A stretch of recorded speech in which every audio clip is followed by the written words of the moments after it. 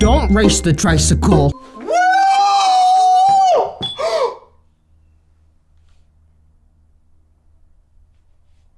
The multi-million dollar home was still under construction when it was destroyed by a fire that broke out around 1.30 Sunday morning.